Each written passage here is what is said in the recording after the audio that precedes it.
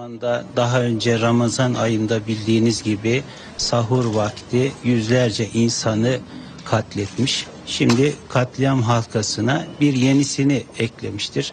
Yine yüzlerce masum insanın e, katledildiğini, yine yüzlerce insanın yaralı bulunduğunu e, e, dair bilgiler alıyoruz. Ben bu katliamları ve bu katliamları yapanları şiddetle kınadığımızı bir kez daha ifade etmek isterim.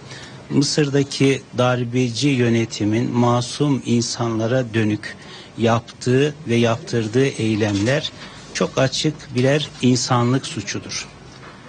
Mısır'da darbenin olmasından sonra darbeye karşı susanlar, darbe demeyenler ve darbeyi zımnen ve alenen destekleyenler ve bugüne kadar demokrasiden, insan haklarından, hukuktan yana tavır almayan gerek Batı ülkeleri, gerek AB, gerek BM, gerek İslam İşbirliği Teşkilatı, gerek İslam ülkelerinin önemli bir kısmı ve Batı ülkelerinin önemli bir kısmının tutumları Mısır'daki darbeci yöneticileri cesaretlendirmiş ve onların eylemlerini katliama dönüşmesine zemin hazırlamıştır.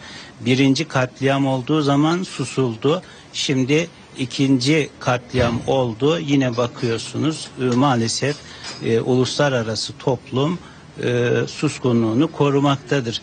Her zaman insan hakları, demokrasi, hukukun üstünlüğü, milli irade dersi veren Batı ülkeleri, AB ve başkaca pek çok kişi, kurum, ülke ve e, örgüt maalesef Mısır'da demokrasi, insan hakları, milli irade ve bunların hepsinden de önemli olan insan hayatı sona erdirilirken herhangi bir tavır ortaya koymaması e, son derece manidardır, düşündürücüdür. Ben buradan soruyorum nerede AB, nerede BM, nerede demokrasi ve insan hakları dersini herkese veren, herkese üstten bakan Avrupa ülkeleri, nerede İslam İşbirliği Teşkilatı, nerede İslam ülkeleri, nerede bu hadise karşısında sesini yükseltmesi gerekirken maalesef yükseltmeyenler. Mısır'da yaşanan bu katliamdan elbette birinci derecede darbeci Mısır yönetimi ve onun emriyle keskin nişancı olarak veya hedef gözetmeden masum insanlara ateş eden, ateş etme emrini verenler birinci derecede sorumludur. Ancak bu hadiselerin önlenmesini e, gücüne sahip olup da önlemek için hareket etmeyenler de tarih önünde de Allah indinde de bu olup bitenlerden dolayı mesuldürler. O yüzden uluslararası toplumu e, o yüzden bu işe müdahale etme imkanı olan herkesi ve her kesimi Mısır'da yaşanan zulüm karşısında, katliamlar karşısında, insanlık suçları karşı işlenen insanlık suçları karşısında demokrasinden, insan haklarından ve insandan yana tavır almaya davet ediyoruz. Bir kez daha e, bu sınavdan uluslararası toplumun kendisinin sınandığını görmesi lazım. Çünkü Mısır'da olanlarla ilgili olarak sadece Mısır halkı, Mısır'daki partiler, Mısır'daki insanlar demokrasi ve insan hakları sınavlarından geçmiyor. Bütün dünya Mısır'da olup bitenler nedeniyle bir demokrasi ve insan hakları sınavından geçmektedir. Ancak Mısır'da yaşananlar nedeniyle maalesef e, pek çok uluslararası toplum ve ülke bu sınavı geçememiştir. Bu sınavda e, başarılı bir performans ortaya koymamıştır. Biz buradan bir kez daha e, çağrımızı yeniliyoruz. Demokrasiye, insan haklarına, hukuka ve insan hayatına sahip çıkmaya uluslararası toplumu bir kez daha buradan davet ediyoruz. Mısır'daki darbeci yönetim umarız ki bu hadiselere artık son verir ve Mısır'daki ortamı gelecek daha kötü hale sevk edecek eylemlerden, söylemlerden kaçınır, kaçınmaya özen gösterir ve bunun içinde mutlaka Mursi'nin serbest bırakılması, siyasi tutukluların serbest bırakılması ve e, oradaki e, insanların taleplerinin dikkate alınması son derece önemlidir.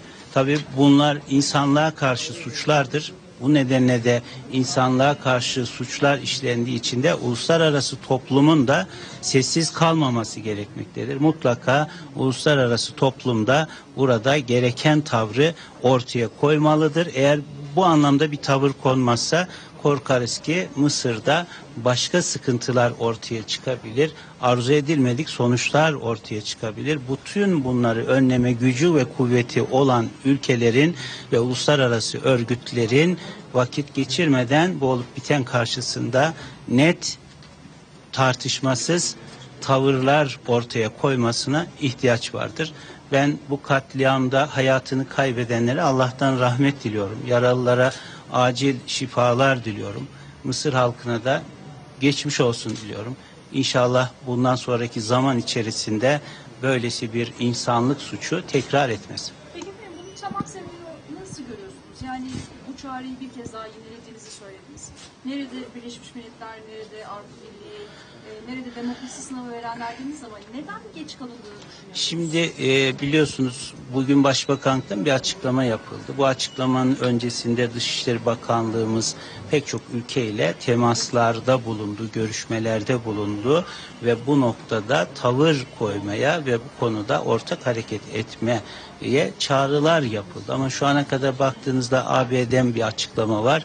İşte itidale davet eden bir açıklama var. Katliamlara son verin, bu işi durdurun, bu yanlıştır, yaptığınız fevkalade kötü şeydir deyip orada bir net tavır koymak yerine e, tarafları itidale davet ediyor. Yani elinde silah olmayan, hiçbir şiddete başvurmayan, sadece barışçıl olarak bir noktada vuran insanların yaptığı bir şey yok ama keskin nişancılar şimdi duruyor ve insanları, masum insanları hedef alıyor, ateş ediyor, öldürüyor.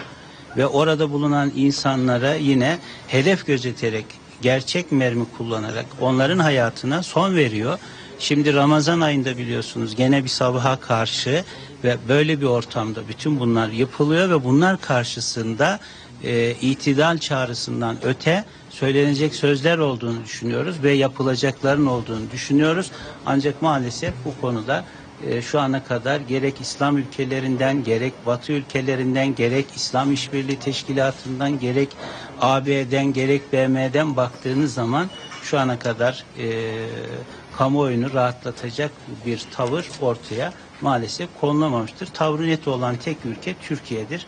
Biz her zaman demokrasiden yana, insan haklarından yana ve insan hayatından ve insan hayatının e, kutsallığından yana olan tavrımızı sürdüreceğiz ve bu noktadaki duruşumuzu devam ettireceğiz. Evet, ben teşekkür ediyorum.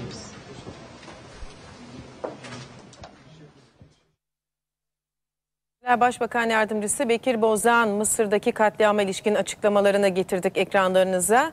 Özetle söylemek gerekirse e, birinci katliam oldu, ses çıkarmadınız. ikinci katliamda oldu. Uluslararası toplum suskunluğunu korumaktadır dedi e, Bozdağ. İnsan hakları dersi veren Batı, Mısır'da insan hepsinden öte insan hayatı sona erdirilirken nerede diye sordu. Avrupa Birliği, Birleşmiş Milletler, Avrupa ülkeleri, İslam ülkeleri, İslam İşbirliği Teşkilatı'na seslendi. E, uluslararası toplumun sınandığı uyarısını yaptı. Uluslararası güçleri bu duruma dur diye bir, e, gücünü elinde bulunduran e, uluslararası topluma seslendi. Başbakan Yardımcısı Bekir Bozdağ zımnen ve alenen destekleyenler darbecileri güçlendirmiştir dedi.